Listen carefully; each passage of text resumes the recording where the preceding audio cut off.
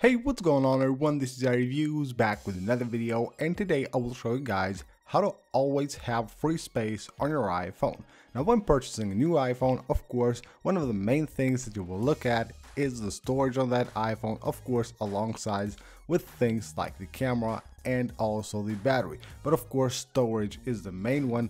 That of course is the thing that will also change the price of a new phone. And it is really important, even though a lot of people always run out of storage on their iPhone and most of that due to doing the wrong things on their iPhone and not knowing how to manage the storage and what to do in order to get more free storage. So in this video, I will show you guys a few amazing tips and tricks that will help you always have free storage on your iPhone.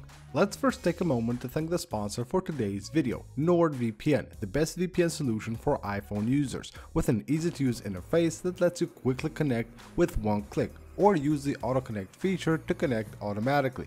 Find servers near you for better speed or one far away for more content on more than 5,200 different servers in 60 different countries. You can run NordVPN in 6 different devices and of course it will support every major platform from Windows to Android, iOS, macOS, Linux and even Android TV and it has some amazing extra features like the double VPN for extra protection and the automatic kill switch which will block the device from accessing the web if the VPN connection accidentally drops.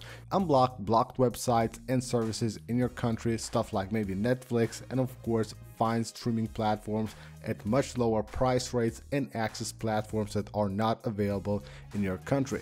Go ahead, give it a try by checking the link right down below in the description of the video to get a two-year plan with a huge gift. Of course, one of the main things that will take up storage on your iPhone are pictures and videos especially.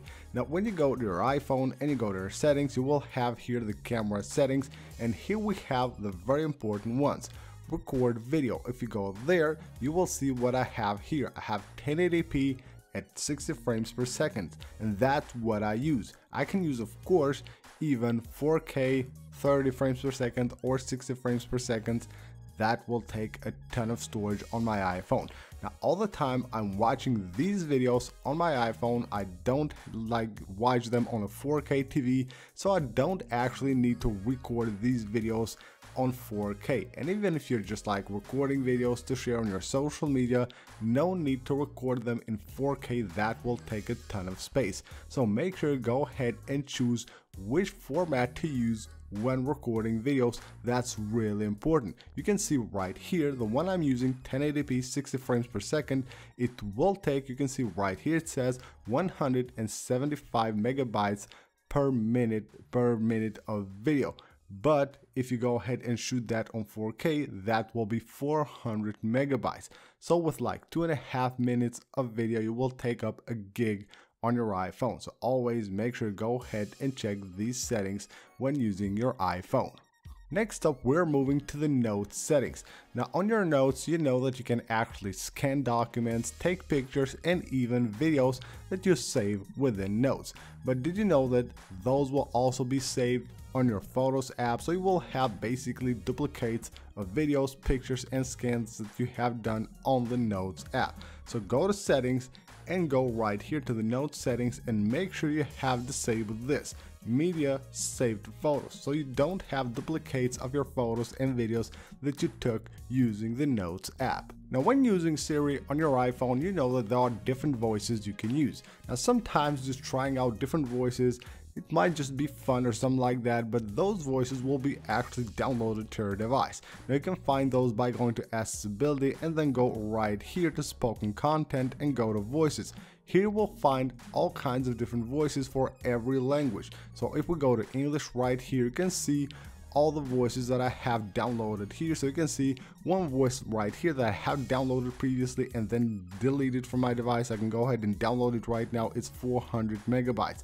So if you just go to one of these, you will be able to actually tap the edit button and delete them. You can see 500 and 500 as well. So that's one gig. You will have here all kinds of different voices you have downloaded to your device and you will see they take up a lot of space. So make sure you go ahead, check these out and then delete the ones that you don't use. Another thing that will take a lot of space on your iPhone are app caches. Now these are basically cached files from apps that apps use but they will pile up there and there will be like a ton. You can see right here we have Spotify and this is one of the apps that allows to clear the cache from the settings of the app. And you can see right here the cached files are 1.7 gigs only for Spotify.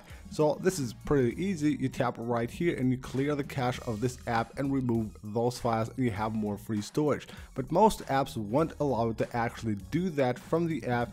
Now the way to do that is by going to settings, go to iPhone storage and this is basically like an alternative to that but it will also work. So what you need to do here is just go ahead and go to the storage and you will see a list of the apps that you have downloaded to your device.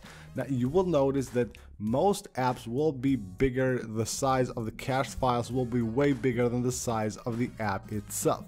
Now by going here, let's just wait for the list to load right here, you can see all the apps that I have. So you can see in this case I have Twitter, 1 gig and that's the app size. You can see that's like seven times more on cached files. Now the way this you can work with this is actually delete the app and reinstall it again on your device because there's no actual way to clear the cache. The way you can do this is just delete the app and reinstall it again and the files of course will be gone. They will still pile up with time but after like a few weeks maybe even months you can do the same procedure again. If you use iMessage a lot, then iMessage will take a lot of space as well basically the media that just you receive through iMessage. Now what you can do about it is go to your settings and go right here into messages and go to keep messages and you will have here an option to choose to automatically delete them after 30 days or one year. Now one year will be a long time so go ahead and choose 30 days for that of course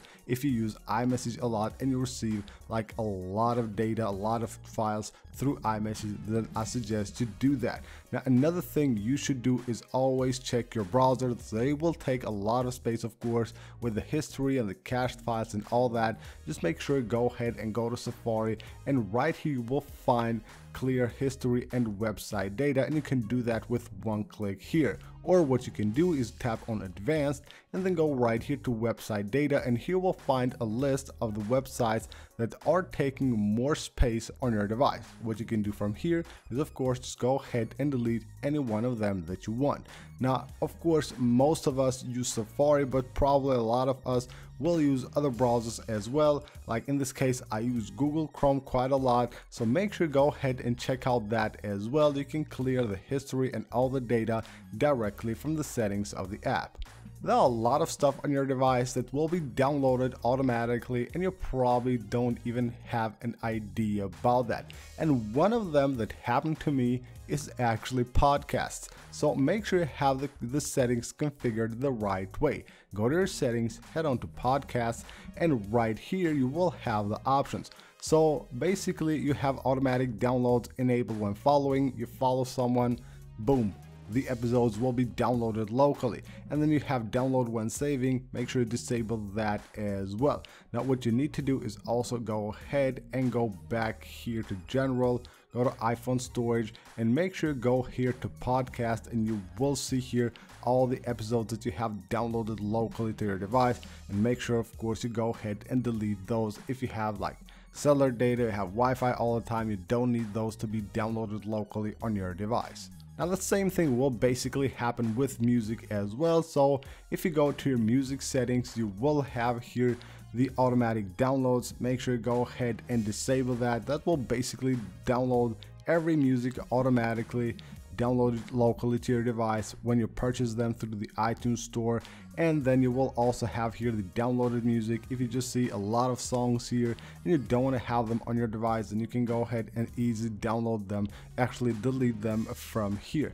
Now last but not least a very important thing is of course apps. Apps will also take a ton of space. So what i suggest you do is go ahead and head on to the app store settings and make sure you always have enabled offload unused apps what this does automatically deletes apps that you don't use for a long time but still saves their data so anytime you need them they will be automatically re basically reinstalled on your device but you will also have all the data there without having lost anything. So that's pretty much it for this video guys. These are some tips and tricks that will help you to always have free space on your iPhone. Thank you guys for watching the video. Don't forget to subscribe for more. I'll see you on the next one.